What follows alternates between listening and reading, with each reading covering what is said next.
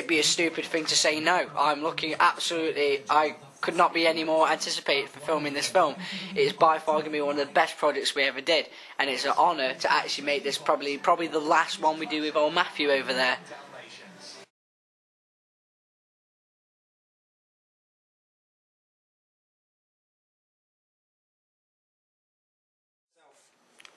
Pretty damn happy actually, because uh, I know I know I'm not a bad director. I know I won't ruin it. You know, if you've got a good vision, then you've got a good vision. I think my vision my vision ain't spectacular, but I know it's good enough. So I'm pretty excited about directing it, to be honest.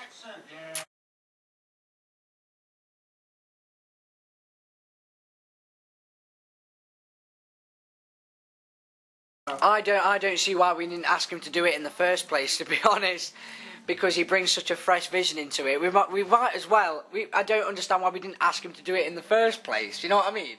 But it, then again, I think it's good because we're making the Country Kyle movie and we want it to be 100% different from the series. Of course, I have a little bit of things that are similar to the series. But then again, Jack has a different vision to things. You know, he's watched so many films. He's inspired by so many actors. I can't even begin to even list how many he's inspired by. But there's a hair on the microphone. Let's get rid of that.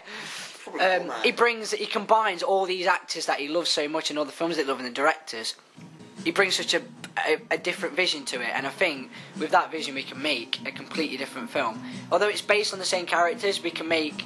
You just want the movie to stand out from the rest. You don't want to. You don't want to sit there and think, oh, it's just going to be an hour, an hour and a half version of Country Kyle.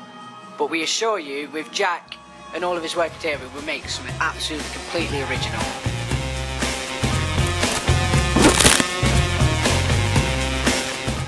Don't like it, then you're weird.